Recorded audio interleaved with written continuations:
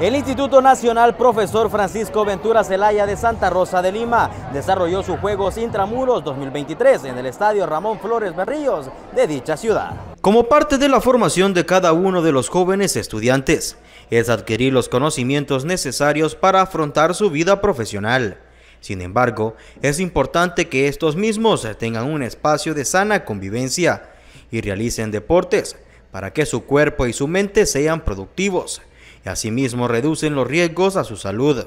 Ese es el objetivo primordial para las autoridades del Infravens. Este día el Infraven está realizando los Juegos Deportivos Estudiantiles, los intramuros, eh, que nos permite a nosotros pues crear esos espacios de recreación para nuestros jóvenes. Y este día 24 el Infraven se ha trasladado al doctor Ramón Flores Berrillos. Esa es parte de, de la formación que también llevan. Sabemos que eh, dentro de nuestra programación anual se incluye la parte de recreación, la parte deportiva, permite oxigenar, permite relajar, permite que los jóvenes también este, pongan en, juego sus habilidades, sus destrezas deportivas.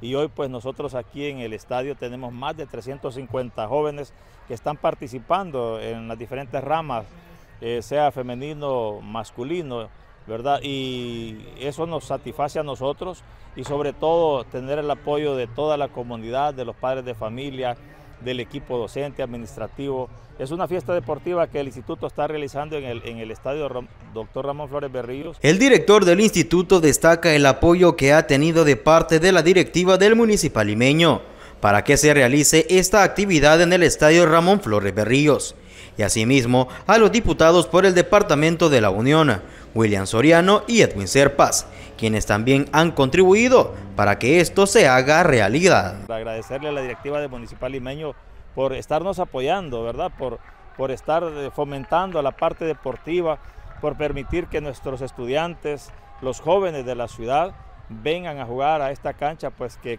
para muchos eh, es un sueño, como les digo.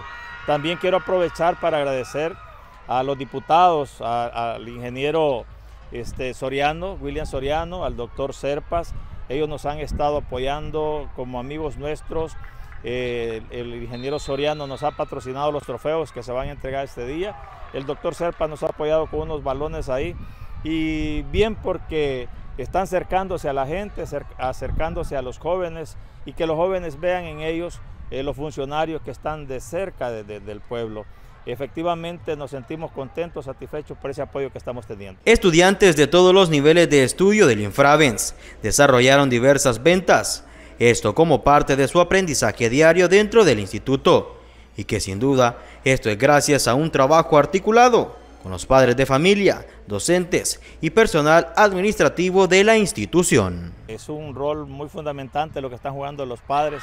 Hay muchos jóvenes que tienen algunos emprendimientos, están haciendo este, pupusas, panes, enchiladas, eh, desayunos, almuerzos. Ha habido de todo, una feria deportiva y esto es con el apoyo y el respaldo de los padres de familia. Como parte del trabajo en conjunto que realizan los diputados con el actual gobierno, es estar en el territorio, escuchando y acompañando a la población.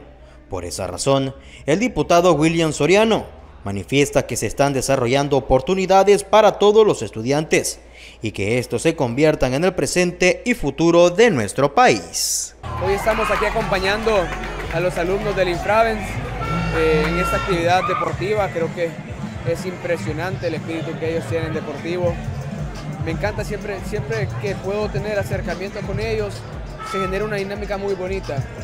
Y eso es lo que yo les explico a ellos, que estamos tratando de generar oportunidades en igualdad para todos, con seguridad, con computadoras para todos, con tablets, con escuelas remodeladas, con calles mejoradas. De eso se trata, que El Salvador que estamos construyendo, la unión sea parte de, tenemos que exigir lo que es nuestro como departamento y de eso nos encargamos nosotros como diputados. Para que todo joven triunfe y sea un profesional de bien, es importante que cada uno tenga un espacio de sana convivencia, libre de violencia, en un ambiente agradable, porque hoy en día el país está avanzando en pasos agigantados, como se lo merece la población salvadoreña. Saber de que los jóvenes ahora van a vivir un país diferente, el que nosotros heredamos, al que nosotros hemos vivido.